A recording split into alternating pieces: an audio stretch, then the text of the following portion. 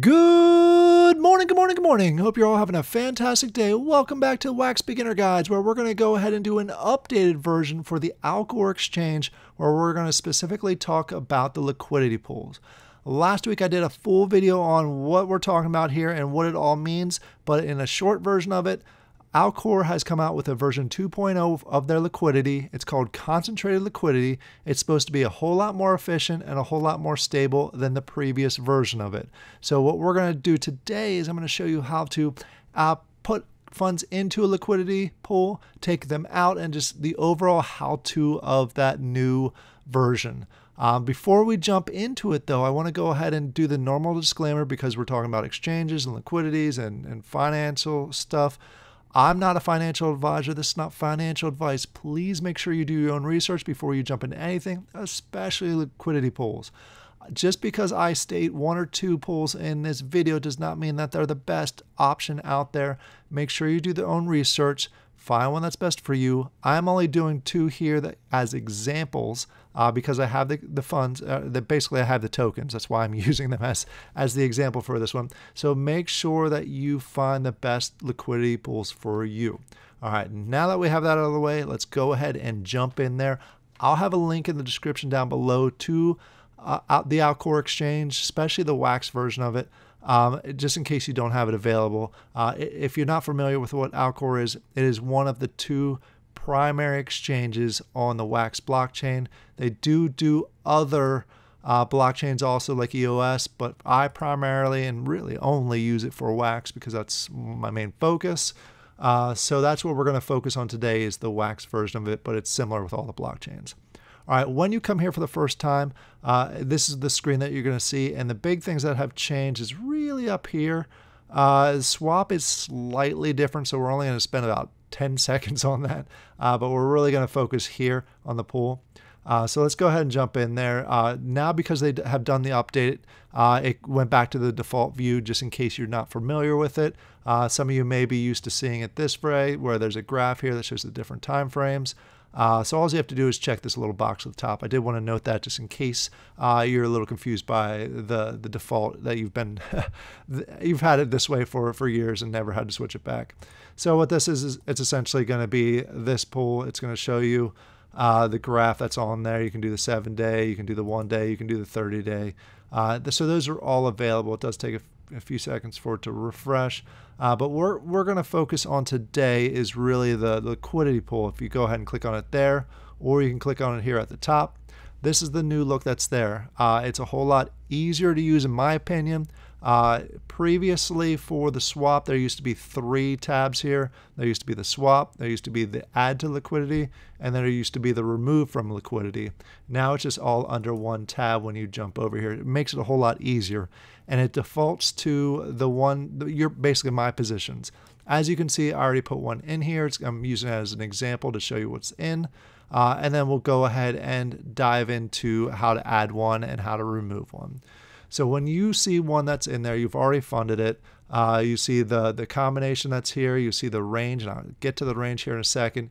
You see how much I put in there. Uh, you see the fees that I'm expected, or essentially this is the unclaimed fees, uh, and the total value. I like the I like the addition of the total value there, plus uh, the your basically your gains and losses. All right, so what we're going to do is we're going to go ahead and enter one. Uh, in order to find a new one, you go ahead and click on New Position and then you go ahead and select the tokens.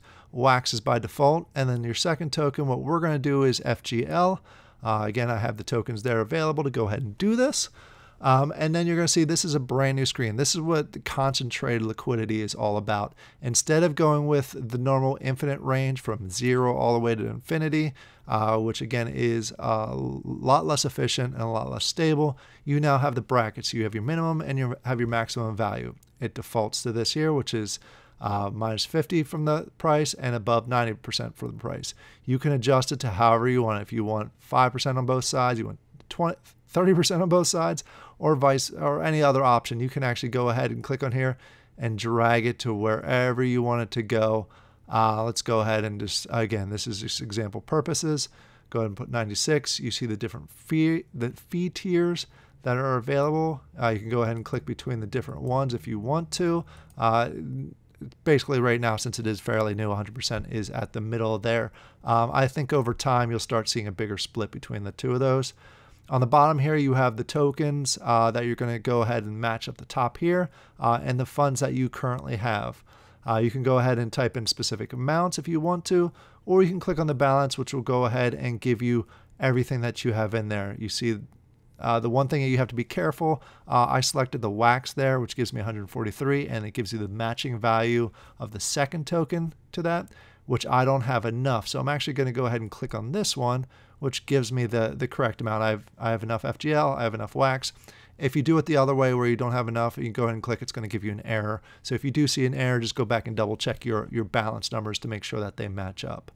Over here again is the range. We're just going to use the default range that popped up here. Um, I encourage you to test it out. This is they've done a lot of internal tests, uh, but as far as the public, uh, this is very new. This is uh, a week and a half, if that old. Um, so we're going to go ahead and see the prices down here. This is the min, this is the max. And once you're satisfied with everything that you're going to go ahead and put in there, uh, you can go ahead. Um, oh, one more thing. This is, shows the estimated. This is what a lot of people are, are mostly interested in. Um, is the estimated fees that you're going to earn every 24 hours, which is going to be roughly two cents. Again, I'm not putting a lot in. Uh, and then it shows the actual share, my my amount of share that I have for this, which is seven percent. That seems seems a bit large uh, for such a small uh, uh jumping in such a small range. Um, so we'll go ahead and add the liquidity. It's going to obviously go through the transaction process, make sure I authenticate. Um, so we'll go ahead and give it a second to authenticate. And once it's in there, you're now going to see it on the My Positions. As you can see, I have the, the Wax Wombat one that I had at the beginning of this video, and then I have the new one here, uh, which is the one we, we just walked through putting it in there. Now, if you want to take a look at it, you can go ahead to Manage, and you're going to see the same range that you talked about and that we talked about before. And you can't adjust it here. You actually have to pull it out and put it back in if you want to go ahead and adjust it. But it shows your current position, the value on each side of the wax and the FGL, and the actual dollar amount, which I do like. Uh, it shows your P&L. Um, shows your your uh, pool share. This is basically how much of the pool that I own. My estimated fees. This is where I would go ahead and claim. Uh, the unclaimed is down here. It's going to show you it's going to go up throughout the next uh, day or so. And then whenever I want to go ahead and claim it, I just click on claim fees. And then if I want to go ahead and withdraw, uh, which I'm going to go ahead and do, but remember before you withdraw any amount, always claim your fees. Even though there's probably nothing in here, always claim your fees just to make sure that you don't miss out anything. Uh, and when you go ahead and withdraw, you can go ahead and do like 27, whatever you want to do. Uh, you can go ahead and do the full 100%, which we're going to do just to, again, example purposes here. Um, so let's go ahead and remove. And then we will go ahead and see it removed from the My Positions. It takes a second, uh, but the, this will eventually remove. There we go. And now we have the, the Wax and Wombat is the only position that I have available right now. So that's as simple as it works on the Wax and uh, Wombat. Similar situation.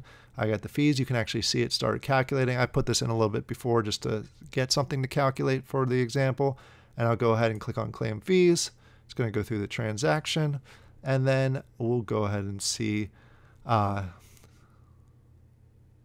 you'll see it change. It took a second. uh, we saw it got removed. As far as I earned a teeny fraction of a wax, uh, but I still have that, and I still have uh, still half a share in here. Uh, so it's, it's a good amount of uh, detail that they have there now. It's a whole lot easier to use, a whole lot easier to bounce back and forth between swap and this. Um, there are some kinks. They're still working out some some issues. The the one thing that, that you should be aware of, what you used to be able to do if you clicked on the, the, the select token, um, it would automatically uh, calculate it or put the list in there, your max or your highest amount of tokens with wax on top uh, all the way down. Now it does not filter it that way, but I'm, I'm assuming that's just going to be adjusted here shortly. But that's how you use the liquidity pool for Alcor. Please in the comments down below, let me know if you have any questions about this. I'm happy to get an answer for you. Also, let me know if there's any other wax beginner guides that you'd like me to include in this series that we have going on. I hope you all have a great day, and I'll talk to you later. Bye.